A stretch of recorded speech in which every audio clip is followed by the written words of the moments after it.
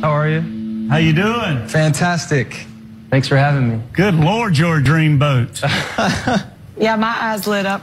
What's your name, Dreamboat? My name is Trevor Holmes, and I'm, I'm 27 years old, and I'm from Thousand Oaks, California. What's your story? Do you work? I'm actually doing construction right now, which I'm not fond of, but I'm doing it to help support my mom. She suffers from lupus.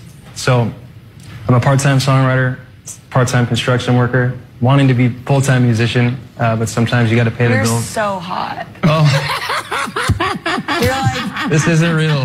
no. I mean, here's the thing. First of all, like, only hot guys are typically named Trevor. Is that right? Yeah, well, that's like one of the names. Trevor, he's hot. He does construction on the side, and he loves his mom. I do, very much so. Um, Trevor, Yes, ma'am. don't call me ma'am. I'm sorry. I'm, I'm just. I respect you so much. and- Don't respect I'm me. sorry. I'm sorry. Don't respect me. She don't want you being nice. Don't respect me. Don't respect me. Oh, thank you, God. Katy, this is the man you need. Listen, if Quit you're not dating going to Hollywood, maybe you can just come hang out with me.